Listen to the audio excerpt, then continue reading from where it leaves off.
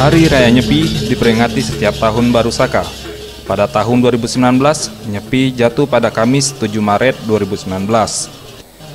Sehari sebelum Hari Raya Nyepi, di Pura Agung Sriwijaya Palembang merayakan satu karya identik, yakni Ogo-Ogo. Ogo-ogo berwujud raksasa ini dalam kepercayaan masyarakat Hindu dianggap sebagai perlambang dari angkara murka dan sifat jahat. Ogo-ogo biasanya memiliki bentuk makhluk mitologis. Dan penciptaan ogo-ogo mewakili tujuan spiritual yang diilhami oleh filsafat Hindu.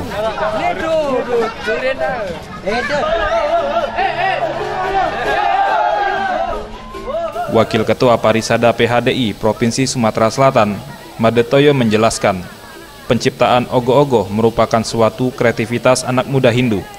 Ogo-ogo sendiri disimbolkan dengan buta kala, yakni makhluk astral yang mengganggu bahkan cenderung jahat. Maka dari itu dilakukanlah prosesi menetralisir gangguan-gangguan tersebut dengan mengarak patung tersebut dan membakarnya agar tak mengganggu umat dalam melakukan prosesi catur berata penyepian. Dalam rangka nyepi, ogoh-ogoh ini diwujudkan dalam buta kala. Buta kala artinya buta dunia materi. Kala artinya energi. Nah, buta kala artinya uh, energi uh, dunia materi punya energi. Nah, di dalam hal ini buta kala adalah makhluk astral yang sifatnya mengganggu bahkan cenderung jahat.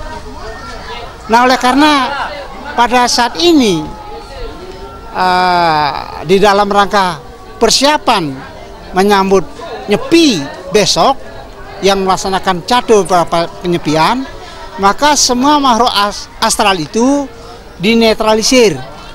Jangan lagi ada di sekitar kita jangan mengganggu kita yang mau melaksanakan catur berata penyepian. Nah itulah uh, asal kata dari ogoh-ogoh bentuknya juga berupa makhluk yang sangat menyeramkan Naren sudah berapa kali melo ini?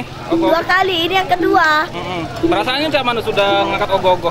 Ngeri, takut sama keberatan. Capek tak? Capek. Capek, capek, capek pas apanya? Capek pas ngegoyanginnya, cak terbawa-terbawa berat gitulah.